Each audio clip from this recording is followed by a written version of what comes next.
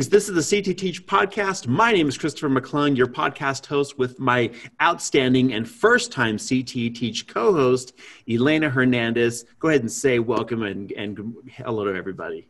Hi, everyone. Elena Hernandez here. Happy to finally get to be on a podcast. Um, longtime member of CTE Teach and, and glad to be here. Yeah, me too. So, on this podcast, we are working to highlight CT institutes all throughout California, uh, if not the world. Therefore, we're beginning by highlighting a career technical education in Fresno County with our panelists of fantastic educators from the Fresno County Office of Education. I'll go ahead and uh, let them introduce themselves. Just who, so, if you could share with everybody who you are and what you do. So I'm Valerie Vucich. I'm the Executive Director of Career Technical Education and ROP, Regional Occupational Programs for Fresno County. We also serve our neighbors in Madera and Mariposa County, so we're a three county wide organization. Um, I've been the Executive Director now um, for about 14 years. Been a little over 30 of my 40 years career in CTE, started out in special education. So very excited to, we were one of the original um, CTE Teach participants wow. and happy to have been part of this program for so long. Awesome. Thank you, Valerie. Yeah. Hello, I'm Janet Sloan, and I am the director for ROPCTE for Fresno County. Um, we are uh, a an LEA for the CTE credential. We just were approved a couple months back, um, and I oversee that program along with working with other districts um, in our county and also the CTE Teach program as well. Nice. Welcome, Janet. I'm, hi, I'm Chris Hawkins, and I have been a CTE teacher for over 20 years. I was a BTSA mentor teacher for CTE teachers in Clovis Unified for almost oh, 15 years, and then became a mentor teacher working with Janet about three and a half years ago. Fantastic. Well, welcome.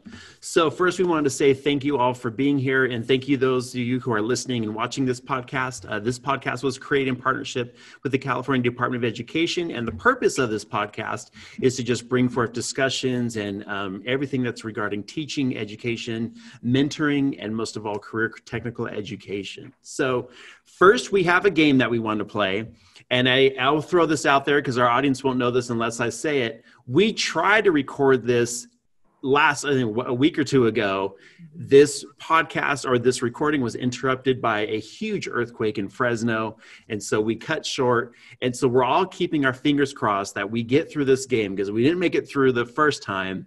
Um, so if we get past question seven, we, we know we're, we're okay. So uh, here's the game. The game is called, and let me go ahead and share my screen with you.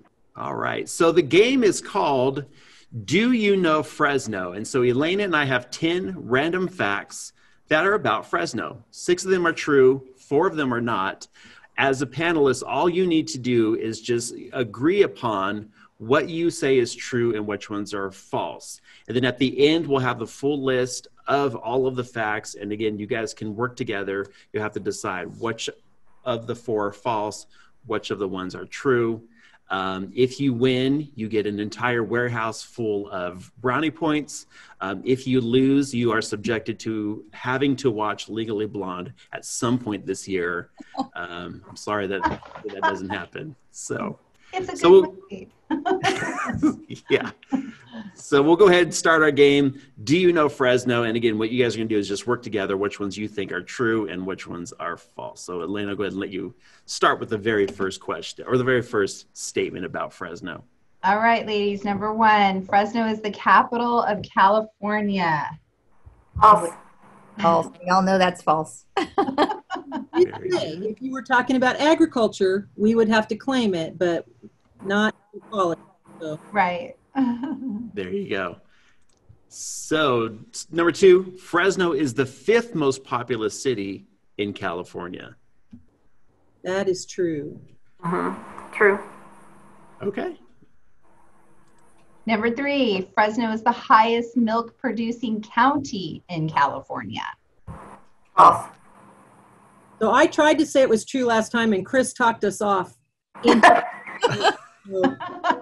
had Chris on our team because I would have lost our brownie points. Number four, Fresno started as a train station in 1872. Yes. That is true. Yes, it Okay. is. All right. Number five, the word Fresno means ash tree in Spanish. Yes. True. We all learned that in uh, third grade when we have to study Fresno County. So Yeah. Okay. learn. Great. Number six, the dance style known as popping started in Fresno. Okay, so we disagreed last time. I said true. What do you guys think? I have no idea. I, I'll, I'll go with I'll what say you guys decide. Okay, we're going with true. We're Okay. going- And here's like here's lucky number seven. the 49ers originated in Fresno before moving to San Francisco. That's false. I'm I should going have looked that one up. I forgot. with Val. No, been there forever. My mom's a San Francisco baby, so Okay. Okay. Mm-hmm. Very cool. And number eight, we made it. Fresno. Fresno is the closest major city to Yosemite National Park. yes. True. Number nine, the population of Fresno is larger than Poland.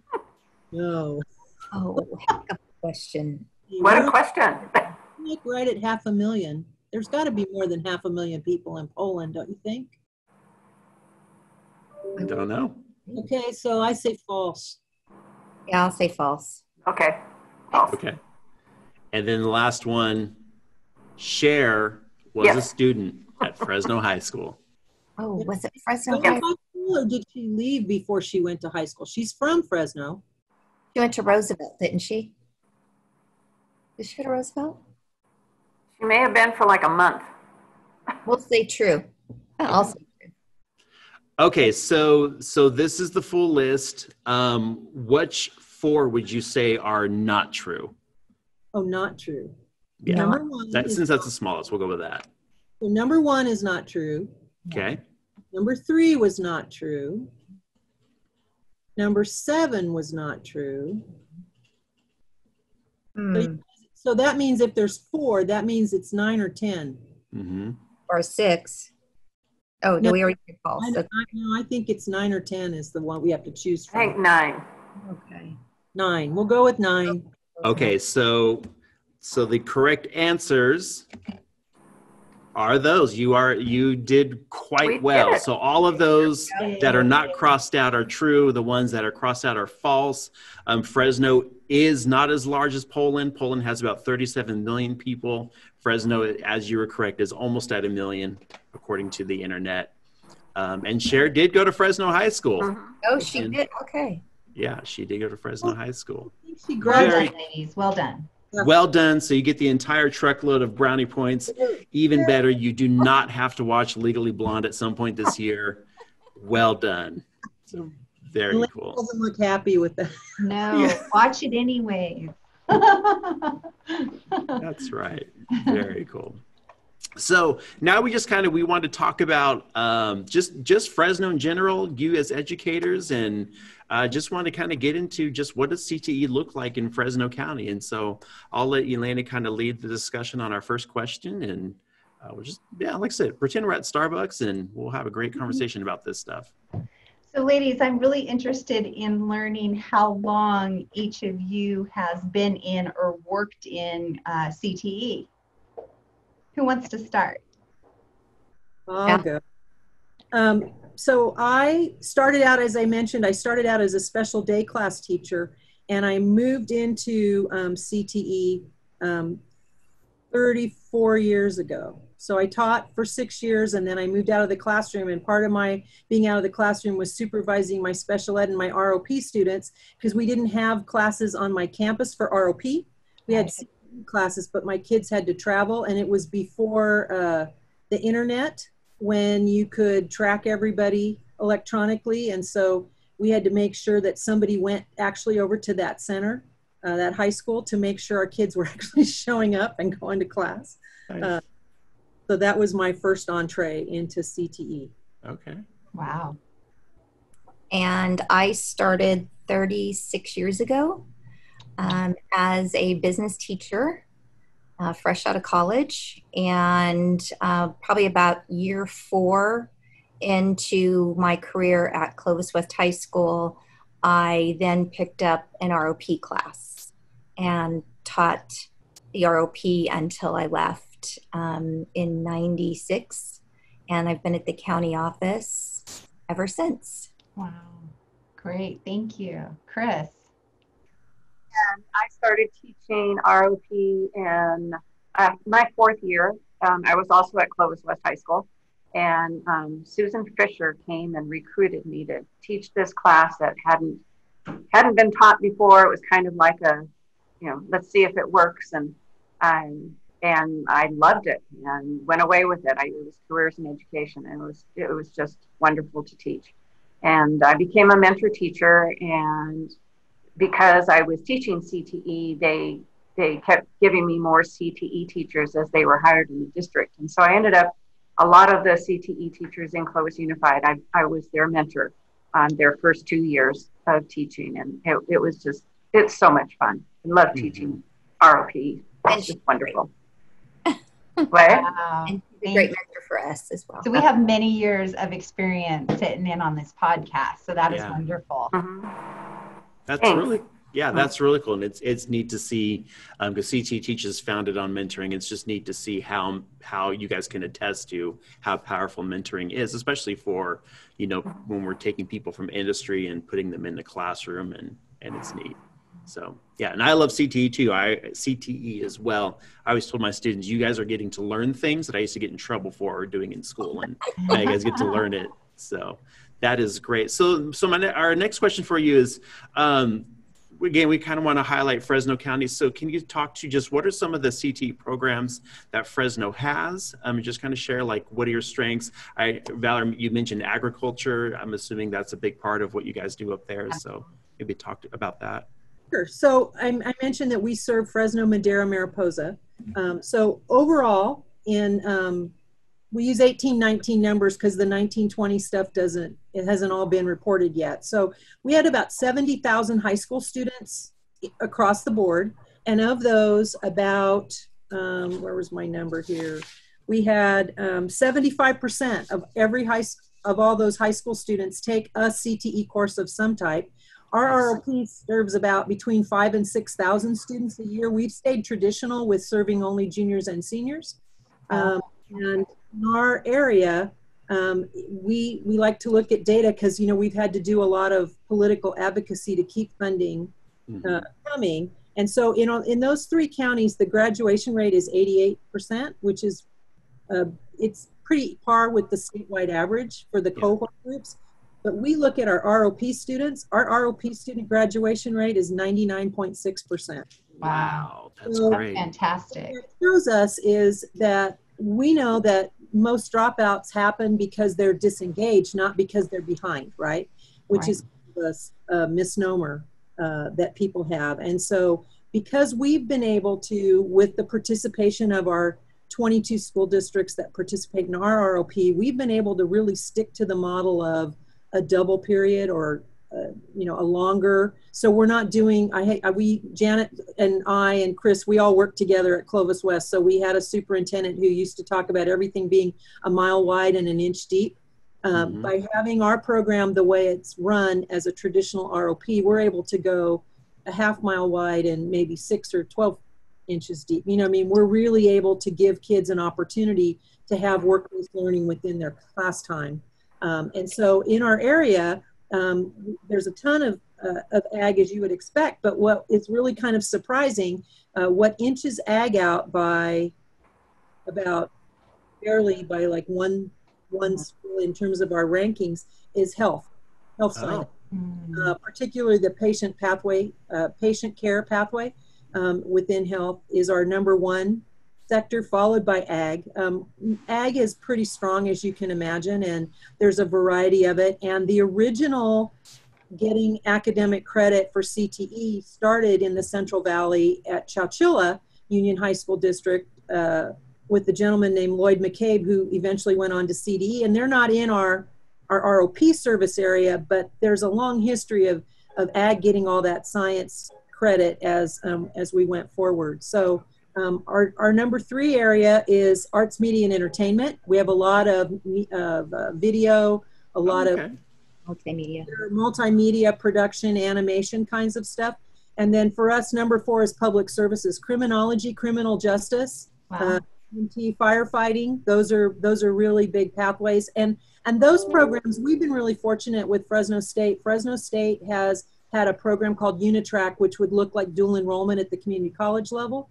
And so a lot of those top programs have great relationships and, and partnerships with Fresno State as well as the community colleges. So those are kind of our top three or four. Um, we have something in all 15 industry sectors. The least enrolled would be energy, environment, and utilities. Um, and, and what we found over time is there can be really great things that we think kids need to know, but you still have to convince 15 and 16 year olds that it's something fun and interesting and, and package it in a way that they're going to enjoy. So that's that's kind of our overall data picture.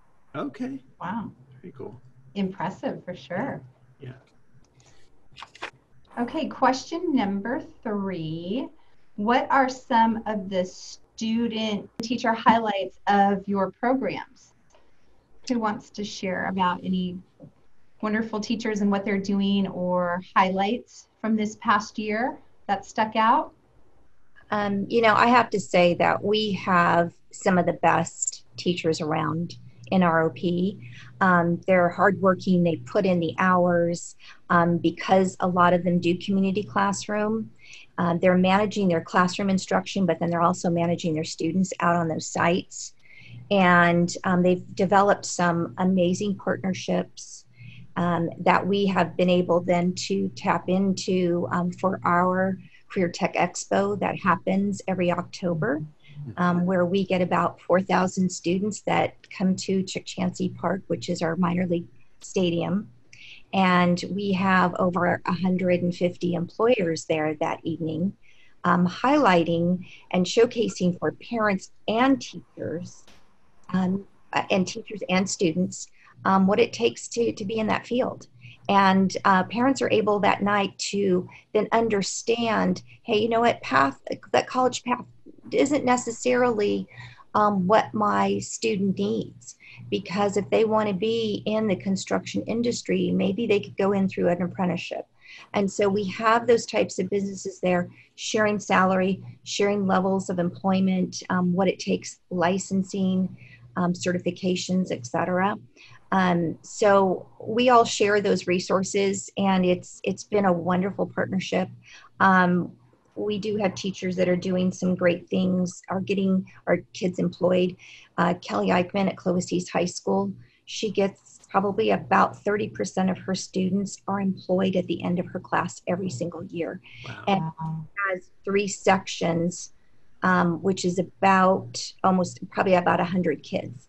Mhm. So when you have 30 kids that out of those experiences that they have on their community classroom that are being hired, um, that's pretty exciting. Um, and just down the street was high school, her husband, another amazing teacher, he's in our construction pathway, and he actually um, has three sections now of ROP, and one of them focuses on uh, the seniors going out to work.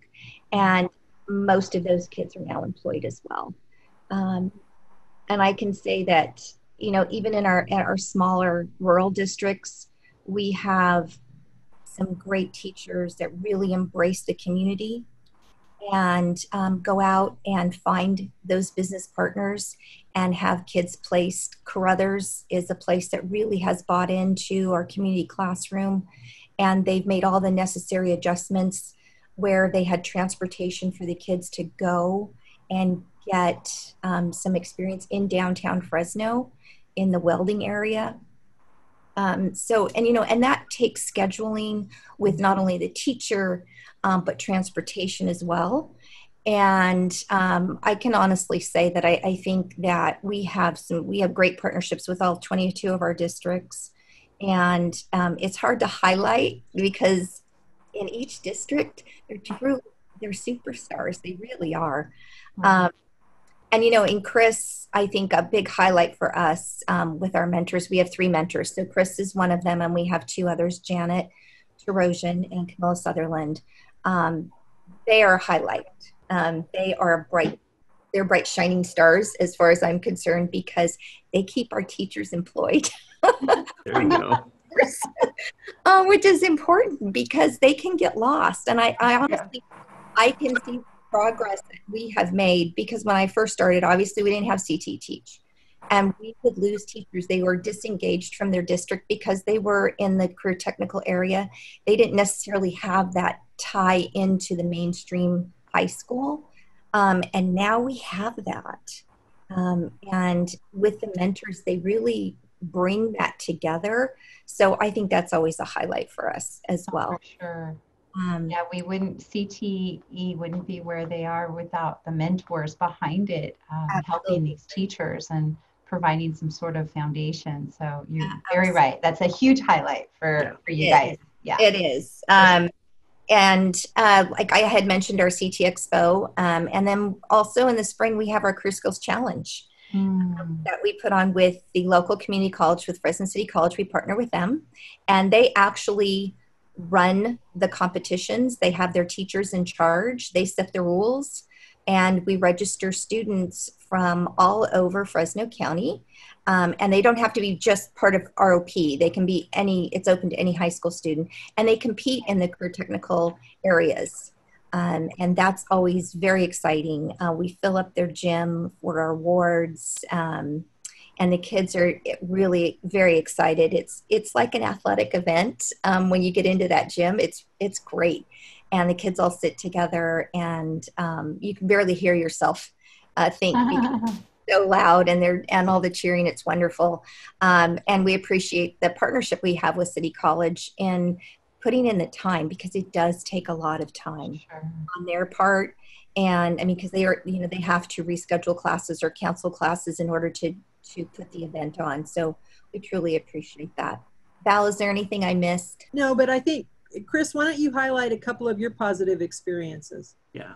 Well, this year was a, a, a bit because of going from teaching in a classroom and mentoring, and then all of a sudden I'm mentoring via Zoom and long distance. And, and um, but there was one of the highlights. The teacher I was working with in uh, Mariposa um, when COVID struck. She, her, she was teaching careers and um, medical careers.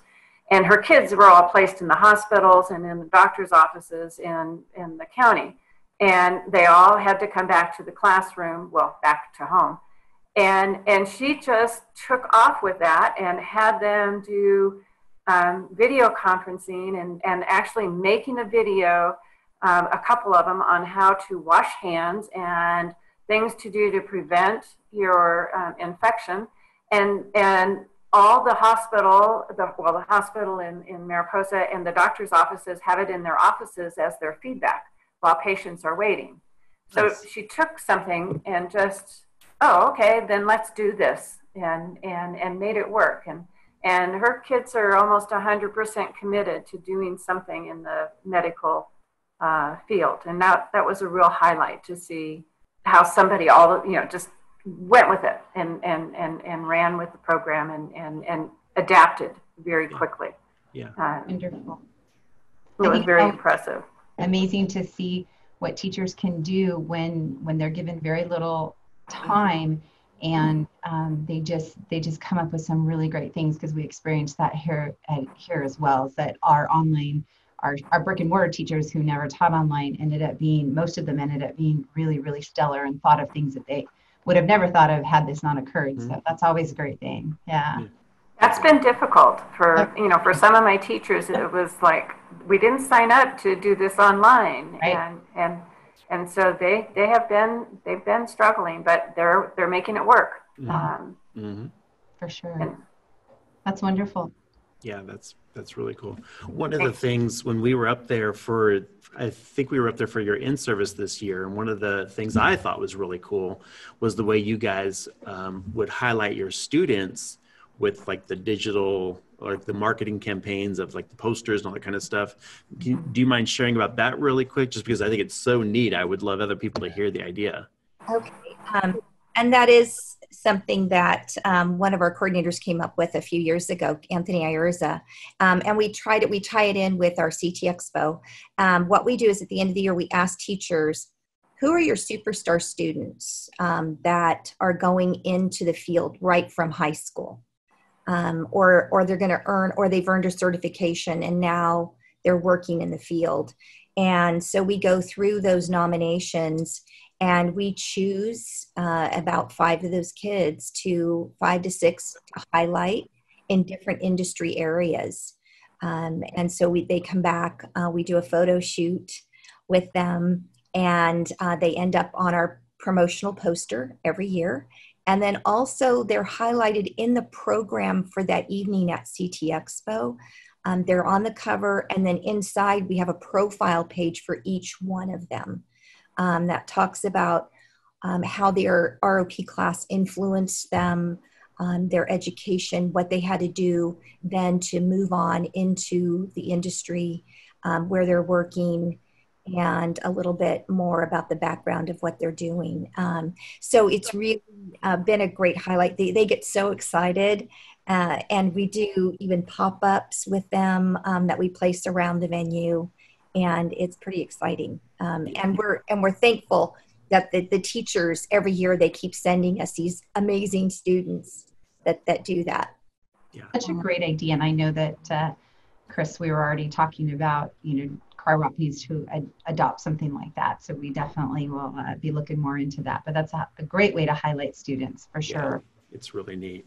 And Makes then bringing them to our fall conference, which is where you were with us.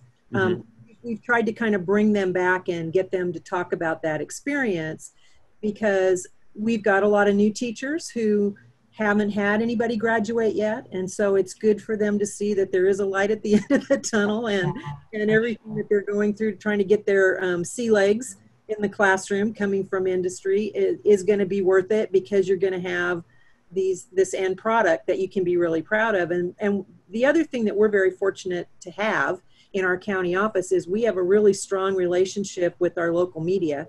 And every Monday night, there is a little three to five minute segment that's on the six o'clock news on our NBC affiliate called Education Matters. That's um, cool.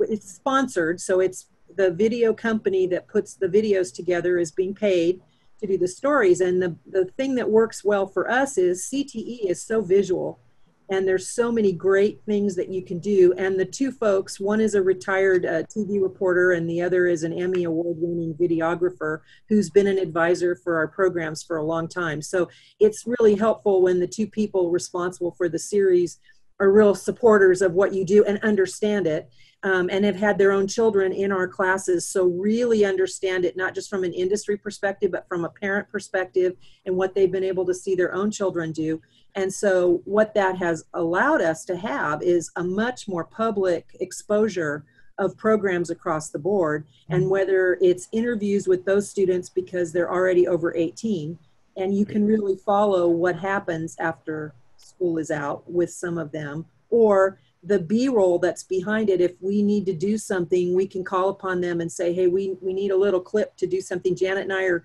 putting janet mostly is we're putting the curriculum together for our credential program. Well we're going to be able to pull some of that b-roll to be able to demonstrate some things. So i think you know we're, we're fortunate our superintendent um, kind of has three priority areas and career tech ed is one of them. And when you have a, a boss who's elected um, who really feels like he's got to connect with the community. I think all these events that involve parents and students, and I think what we've seen over time is we're in a place before COVID hit, but we're in a place, at least in our community, and I really think in our state, where parents are more um, empowered to speak up on behalf of their students and knowing what works for their students and um, and not just pushing them down a particular path because it's what everybody does but really looking at the skills uh, and the uh, temperament and the interests of their own students and trying to help them craft that. And i think one of the pieces when janet was talking about our expo event one of the things that we've tried to convey there is there's a lot of different kinds of college and post-secondary training. So we're trying to expand the definition of that word to not just mean a four year experience, because for some people they don't even think about community college as being college so Right. really trying to expand that you know when you're standing there and you're talking to the caterpillar dealer or you're talking to the john deere and they have their own training schools and they're offering scholarships to kids to to go you know and get training and come back or you can stand next to somebody that's a long time employer in the community and they say that program at fresno city college is where i hire all my people. That's the purpose of that evening is to give parents a level of comfort so that they don't prohibit their child from experimenting. And we're saying you know when i go into classrooms if a kid says you know i took this computer class because i just you know everybody's going to be you know we went through that period of time where everybody was going to be a web designer in their garage and make a million dollars and now cybersecurity is really important. And and what kids see on tv and what the reality of some of those jobs are some of those jobs are much more tedious and boring in in parts of them than what what they're used to. And so sometimes they come into a program or a pathway with a totally unrealistic perception of what it is right? And and so sometimes they'll say you know i'm, I'm glad i took this class but i know this is not what i want to do. I have some skills and i know i'm going to be able to do certain things but this is not this is not for me. To me that's almost as equally a success Yes. as who finds their passion because how many people have we all gone to school with who were like wandering aimlessly through college trying to figure out what was going to stick and what you know was going to be for them? And so you know i think just trying to make it so it's part of the overall conversation and and and, and do we still have educators that think if you don't go to a uc you're you know you're not fulfilling your potential? Absolutely. You know i think that's just going to be that never ending uh, promotional campaign that we're all going to be on. But i think i think parents as a community are becoming much more vocal in their support of cte and their willingness to to allow their kids to branch out and experiment and add to their repertoire before they graduate from high school Yeah, Valerie, you bring up a really good point because I often say to teachers and students, you know, CTE, what we do really, really well is we expose students to many, many, many different types of industries and careers. But then what we do also just as well is we expose students to things that they do not want to go into or and that that's just as important. So when you go through that take that vet class and then you decide no i have want nothing to do with animals well at least now you know that and we've exposed you to that so you have to have both for sure that's really important And I think about the kids that used to sign up for child development because they thought it meant they were going to play, do arts and crafts. Yeah.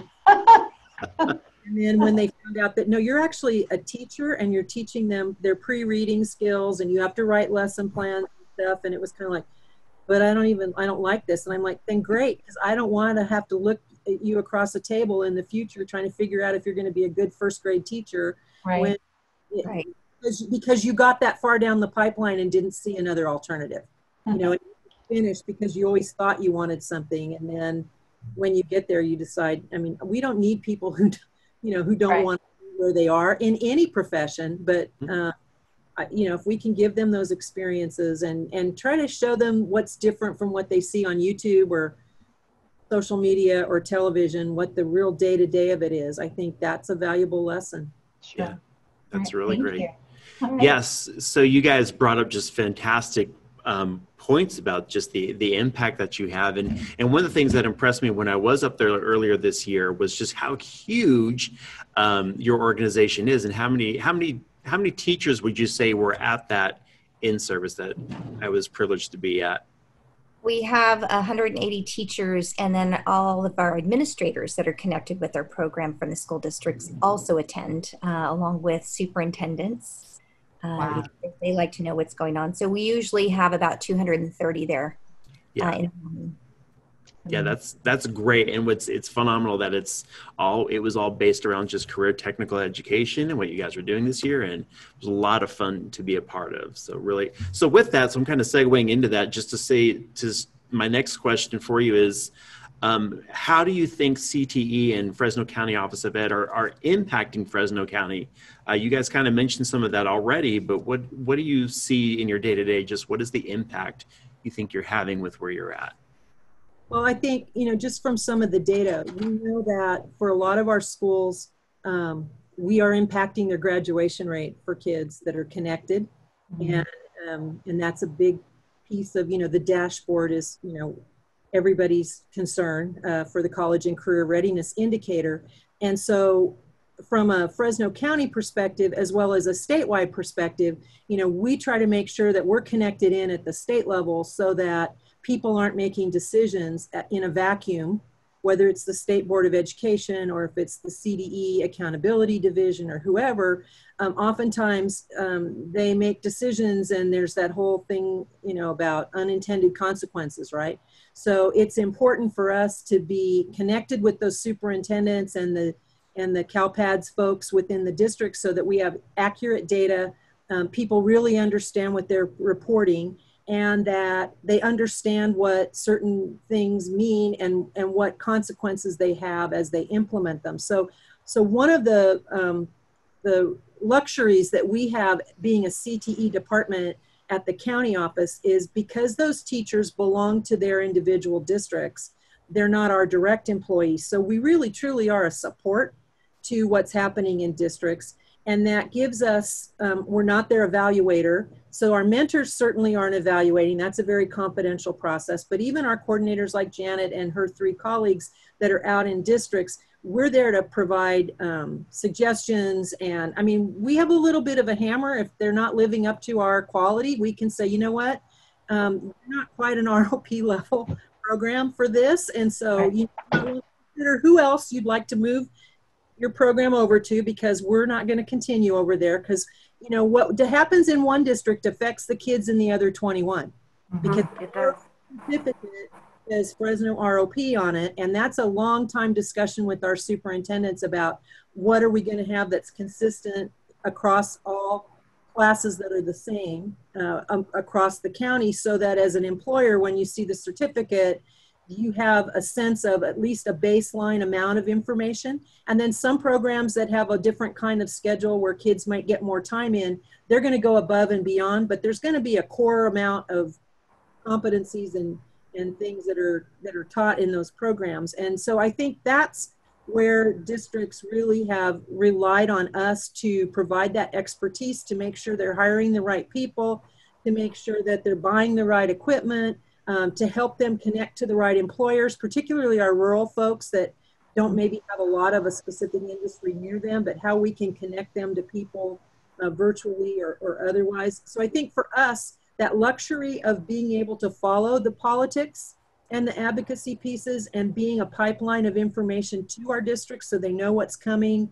Um, we've been really fortunate in the Central Valley. We were very, very successful, our districts, uh, in applying for the Prop 51 um, and previous to that, Prop 1D, the CTE facilities funds. So we've seen a huge investment across all kinds of districts in this in this area in terms of realizing that you know facilities that were built in the 30s 40s 50s that they mm-hmm. never really had any money for uh, once that bond money was available we've seen so much improvement and i think that's been an impact we've sat on those advisory committees we've helped them go visit programs that they could emulate and get a chance to look at what a good facility looks like. So I think all those things that make it really tough for a district person who's responsible for the day-to-day uh, governance and instruction and dealing with real teachers and real kids on a day-to-day basis um, we can kind of fill that gap for them and, and provide that, that backup for them and then because of our statewide reach it may be that the program they need to go look at for a certain facility might be with one of our colleagues in Bakersfield, or it could mm. be hmm. out in San Bernardino or San Diego or whatever. And and we've got that network to be able to help them them do that. And I think they trust that we're going to give them um, really honest, straightforward answers. So I think our we have a political and an advocacy kind of an impact that's way different than the huge impact that like what Chris is doing in the classroom is. And I think what we've done, what Janet has done with Chris and the other ladies with CTE Teach has been huge because while we've been involved with CTE Teach from the beginning, and I'll let them talk about it, we've always had more people who needed the services than the contract allocation right. to provide for. So we've always, from the very beginning, even before when we were part of a consortium, um, we've always supplemented to have more mentors uh, but use the CTE Teach uh, materials and philosophies to support those folks. So, ladies. Right.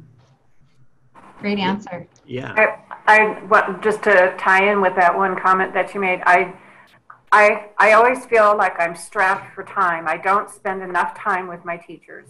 I could do, I could do three to four hours a week, and it would not be time that was wasted. Um, it's it's just so um, that connection that we build, that relationship that we build, has to happen and it's so important for them to grow and trust us and realize that we're there to, you know, answer any questions. I mean, I handed out a lot of clinics, you know, this last year, and and that was important. It was just important to be there, and I I really miss being in the classroom with my teachers. Yeah, I have to say all three of them are they're amazing. I mean, they're great at doing everything that I need them to do for the program and check off all the boxes and and make sure they're doing their observations.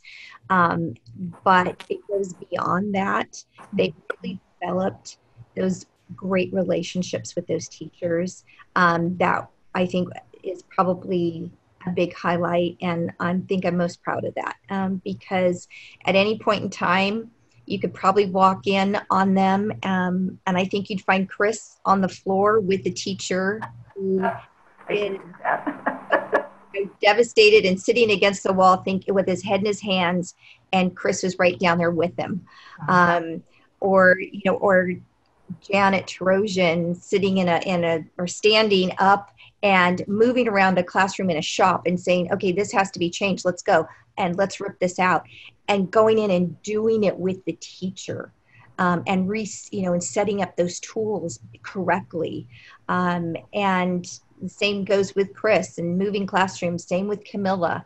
Um, they really put their heart and soul into it and i think chris is right. There's never enough time. Um, and so uh, i think that's what makes our our our group of of mentors so special because they truly buy into this and they see the value um, and they do go above and beyond and they're amazing.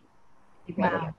well, and so many of our districts are rural and so teachers are the only one. So there so you don't have a department. You i think everybody has about two ag teachers at least but so when we bring teachers together, whether it's for an in-service around a particular course or the fall conference piece or our evening event or our competition, for many of them, that's their department. That's those are their colleagues, um, and so that's who they network with because they don't have anybody else on their campus that does what they do. So they don't can't just run next door like a math teacher or a science teacher or an English teacher could do and say, "Oh, what do you, this something's not right with this lesson." what do you think i mean so the just that whole networking ability to connect them to other professionals um, and then for the newer teachers that are coming from industry they bring so much more about what's the newest experience what's the newest technology. So there's a really nice blend of they might be a brand new teacher but they've got some industry stuff to share.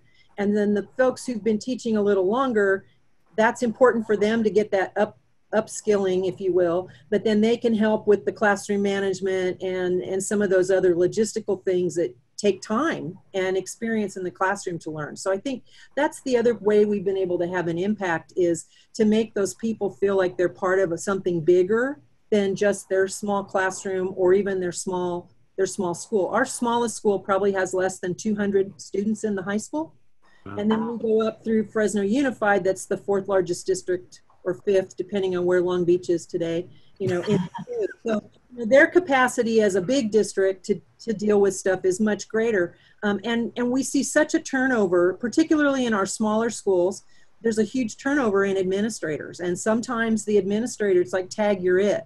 Um, yeah. I did it last year. It's your turn this year, or somebody's moved on because they've now gotten a little bit of experience and they can you know move up to a higher paying district. So for a lot of our districts my staff is the continuity. They're the consistency. Some of them have worked with my coordinators for more years than they've worked with their superintendent or their school principal because of the churn. Um, so and so there's a reliance on the expertise in our office and that's a fine line between being dictatorial and making people feel like you're oppressing them and telling them what to do when it's their district versus making people feel like you're there to to help them not make a mistake i think is is that fine line that we walk as a county program. Wow.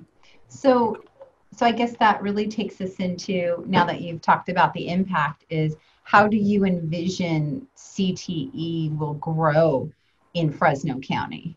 Well i think as people have looked at the data in terms of like i said the, the graduation rate and the number of completers and the kids who are sticking with it and they're able to be a pathway completer along with stuff. We we do have programs that meet the A to G admission requirements. We're very careful in considering what those are because we've watched other places kind of tip the balance over to too much research and philosophy and history and not enough hands-on. So they're sort of thematic academic classes as opposed to skills classes. So we're always really careful in that particular development of that. Um, and, and I think we have a, a good balance in what our districts are looking for. But I think what people are seeing is they can have both. They can have kids that are meeting A to G requirements and kids that want to attend a four year program and get all those brownie points on the college career readiness dashboard piece.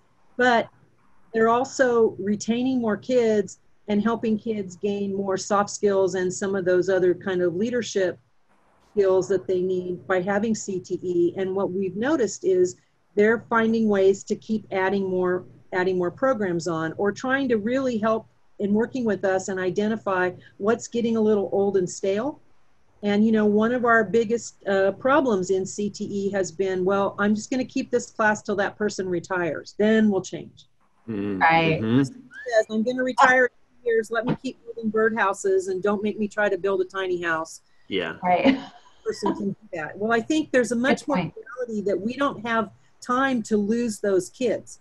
I mean, that's mm-hmm. one of the reasons that we were so appreciative of all the work that Janet did to get the credential program up and running here locally so that more people would would get their training and we could be more hands-on with them and make sure that they're getting the right direction um, in how, how to get their programs up and running. But we've we've really seen again from the prop 51 bond measures you know people are building these new facilities. Well you've made that commitment to the state to build those facilities. You can't turn them into something else. You can't turn that wonderful technology stuff you can't turn it into a science lab. You know it has to be cte and so i think you know as they make those investments i think it has made them feel like they've got um, more opportunity to, to add program in. And, and janet works more directly with some of the districts that are doing that and i mm-hmm. think there's there's a, a, bigger awareness now with parents and that's that was the the big the toughest nut to crack honestly um, and i think with a lot of the promotional things and what we're able to do uh, with our county office and pass down to our districts um, to promote cte and to make parents more aware of pathways and certifications and dual enrollment and along with Unitrack um, and UC approved courses. Uh, that has made a big impact as well on developing pathways. Um, and you know, we we aren't able to do any of this without, of course, our superintendent who supports CTE, um, and he actually came to us a few years ago about CTE Expo, and because we always had done a college night uh, that was sponsored by PG&E at the time, and said, "Hey, what about doing this for CTE? Mm-hmm. Um, and from that, you know, one idea, we have this huge event that really promotes an awareness um, with career pathways uh, amongst our, our community. And um, I, I, think that really, that one single thing has made a big impact because then that led to Education Matters every week. Um, and now we have districts doing their own mini expos as well. And, um, and those mini expos in their own districts are then face to face with the teachers in those districts. And then the, the parents feel like, oh, I can talk, I can ask questions about what are they going to be doing. And this is my profession. So I'm going to go and ask them, what, what are they teaching? I'm going to kind of test them. Well, when you have people from industry that are teaching, they know their stuff. Um, so right. it, just, it just really shows that the, the parents that, okay, it's okay for my kid to be in these classes. Um, and there is truly a pathway, a post secondary option, whether it's college or apprenticeship or going right into work and and they can make a good living so I, I, think all those things together have really promoted and we'll continue to grow our cte programs in the valley uh-huh. thank you we've been able to add some workshop features into it for the day to make it really, you know, we've had a couple employers come and say, well, I want to bring the kids to my my space, which is near your near the exhibit area, and we're going to work with them on a project during the day. We'll bring the, what they build. One of our um, Four Cs Construction is a steel structure company, so they go and they they give them like a day's workshop, and they bring everything back over to the stadium, and that's the display for that company is what those kids built that day. So now you have these kids who worked on something, who have something to show for it, whose parents come after work in the evening and they can say, Look what I did today. Or we frame a tiny house during the day. And when those parents come at night, they can talk to the folks that are California Tiny House in terms of employees and who's an employee that used to be in an ROP class. And this is how they got exposed to it. And here's what my kid did today. Or when you have one of the most prominent cardiac surgeons in our area conduct a cow heart dissection, but and you've got you know 100 kids in their scrubs parents can wow. see that and see the level of commitment of people that they drive by on the street and see their name on a marquee in front of a you know medical building or something you know there, there's we, we've really made it a hands-on thing so it is not your typical career fair walk around and pick up tchotchkes and things it's more yeah. about you know what is it what do you do in this job and and what kind of training did i get not just what can i make but but right. it's it also helps us be able to connect. So we've got in the medical area where we've got you know the firefighters and the EMTs and the ambulance folks. And we've got our mobile health unit from the county office with the nurses and the LVNs who run it saying hey this is what I do. Come and check this out. This is what we do at schools for kids. Um, we've got Valley Children's Hospital which is our huge uh, children's hospital for 10 counties here 13 counties I believe here in central California. Um, and their staff is talking about, oh, did you go to the medical unit? Yeah, here's the shop mobile. Here's our program. Here's where we get our training. And then you've got UC San Francisco's medical residency program that's here. You know, so what we've done is it's not just the employers, it's the employers and then whatever post secondary supports them. So when that person who's working for that company says, when Chevron is here, who's our big sponsor, when Chevron says, well, we get a lot of our folks from the engineering department at Fresno State, and that's two tables down, you know, a family can spend their time in an area where they think they have interest and, and really get some fundamental information. So we have a prominent table at college night. We're right outside the entrance doors before they go into all the colleges to say, hey, you're here tonight, talk about, find out where programs are, and then come back in two weeks when we have this other event and then you can kind of begin to build those things together so that you pick a college based on your interests and what you want to do and what's going to get you where you want to go as opposed Good. to you know i like the football team here or i think i'd like mm-hmm. to city and you know we're never going to get rid of those things but yeah. but then it makes the conversation the cte conversation about well who's got the right kind of programs for you and you know and we're really fortunate because for our area for ag for education for health we've got really wonderful programs here in the valley um, there's a new medical school starting at uc merced. We have a couple private medical schools that are starting. So you can help expand that information to parents. So everything isn't about going to the bay area or going to southern california. Um, it's it's about those are great options and you may choose those but let's help you find things that are based on what you're interested in. I don't yeah. want to go somewhere and then find out what you were passionate about. That's that's not even a major at that school right? Mm-hmm. and sometimes kids don't have that conversation until they're like you know have two or three offers in their hand and have to pick and they didn't even realize that the place they thought they were going doesn't have the program they wanted. Mm-hmm. they were looking at other things. So i think that's where i think we've been able to do more with counselors and and parents and having those kind of conversations. And i think that's just making things more vibrant so that when people pick Fresno State, they're picking Fresno State not just because it's less expensive, they can live at home perhaps, or they've grown up wearing red and they're a bulldog and that's what they want to stay, uh-huh. but they know that they're there because it's an award winning program.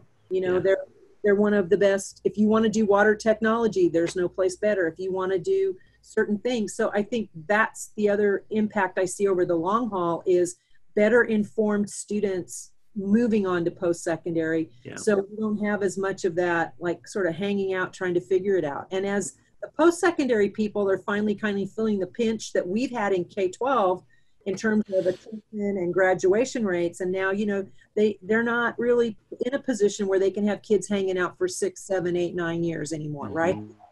They're now, where before the attitude was kind of like, hey, they're adults. If they want to hang around and keep taking things, that's their business. Well, now resources are getting so much more restricted that Yeah. you have to be more prudent as well. And I think, you know, having kids that know what they want to do and not getting to be a junior in college and then changing your major because it isn't what you thought. Yeah. Um, those things are going to be, you know, people are more cash conscious. They're they're looking at, you know, they don't want to have student debt. Um, so parents are really excited when you can help them narrow things down and and and feel like you're not eliminating those choices by saying CTE. You're helping them put one more tool in their tool belt about how do you make those decisions after high school. Yeah. Great answers for sure. Yeah, those are definitely great. And so, good- so our our coming year, this is going to be our first year where we're putting some exploratory labs into our middle schools, and I'm so excited that our middle school kids will be able to experiment with different sectors of CTE, so that when they do get to high school, they'll actually have more of an idea of what they want to do, which will even have more of an idea. This is what I want to do with my career, and so I think yeah, it's, it's it's neat to see what in here what you guys are doing in in impacting in that way. So very cool. One more question, Chris? Last, yeah. So last, sorry, I got distracted by the excitement. So, uh, so last, CT Teaches is primarily it's a program uh, that focuses on mentoring CTE educators across the state of California. So, I like to ask every in every episode e- each of our panelists who was someone who personally or professionally mentored you and helped you along your journey to where you are now. And this could be a family member, a coworker, a teacher, whoever. So we'll start um, with Valerie, and we'll work our way through to Janet, then you, Chris, and just who who would your gets your mentor shout out. Well, you know, unfortunately, you gave us that question so we could think about it because it is one of those really tough ones. And like several different names came to mind from from one one of my grandfathers all the way through. But I think in terms of what I'm doing today and the work I've done here at Fresno ROP, it would have been um, the man who hired me, who was the administrator in charge of Fresno ROP when I when I was a teacher in the district and and brought me over uh, to the county office, and that was a gentleman named Bud Stewart. Um, he really, when I was out in the district and I was just a liaison, he was a great sounding board and um, he was always involved politically. So he gave me that opportunity to see how you can run program but still make those statewide connections partly to make sure the valley didn't get left behind over something that was just an la thing or a san francisco thing so, Right. so I would say um, bud stewart for me Very nice. Cool. Good. Janet? Well, I've actually had a couple. Um, I have to go back to my my teaching career. Um, was my department chair, Kathy Smith Yang, um, who has since retired, uh, but she was amazing from day one for me. She actually was my master teacher when I was doing my final student teaching, um, and then uh, later on became my department chair. And she really taught me to get to know the kid. She always would say get to know your kids. And I think back about how invaluable that was in building those relationships because the kids respond to you better. Um, and she said that from day one. So, um, and then also just everything that she did on curriculum and remember we did Perkins together. She did a lot. So she did a lot for me in teaching me a lot about just the education system. And then I think in moving on, um, Bud Stewart again, when I started at, at Fresno ROP, he was the administrator and uh, our boss. And he was really, uh, he still is an amazing man and very politically astute um, and a visionary. That's what I really uh, value um, was the vision that he had. It was not what are we doing now, but what are we going to be doing in five years? Um, that really um, made me always think and kept us on our toes. Very nice. Very cool. And Chris, who mentors the mentor? Um, I, I would have to, uh, Kathy Smith Yang hired me. Um, I was, um, and, and I loved working for her, and, and I always felt supported. And, um, but I, I, I w- hadn't really started teaching CTE at that point. I was, I was kind of, I, I wasn't doing an ROP class. But when I started doing CTE, ROP, Susan Fisher um, was one of the, the best supports I think that I had because I was like, I don't know what I'm doing, and and she was always there, answering questions, supporting me. I I felt I can do this, and and eventually loved loved my job. Very So nice. those two people. Very cool. And so, Chris, as a side note, um, CRYROP has entrusted me to be a mentor, an official mentor this year. Um, so I will be emailing you a lot and saying, "What do I do?" Um, I already wrote down Kleenex. I said, "Oh, Kleenex, that's a great idea." So they will get that in their supply box. Yes. Very cool. Well, I would just want to say thank you all so much for um, just being here. I mean, it's it's it's always great to connect with you, even though it's via Zoom. But it's really cool that we can connect via Zoom, and I'm just so glad to have you guys here and, and be able to get to see you again. So we'll kind of close it up. Um, thank you so much for uh, for joining us on the CTE Teach podcast. We hope you've enjoyed your time here with us as much as we have with you. And we also invite you to follow us on Twitter at CTE underscore teach and subscribe to our YouTube channel and multiple podcast stations at CTE Teach. So we close this month. Um, I like to close every month with an inspirational quote. This one actually comes from um, Ella Fitzgerald, and she said, Just don't give up trying to do what you really want to do. Where there is love and inspiration, I don't think you can go wrong. So thank you all again for being here. You can go ahead and say bye. Bye, Sure. Bye, Thank you, everyone. Thank you, Fresno. Yeah, thank you. Thank you. Yep. Bye.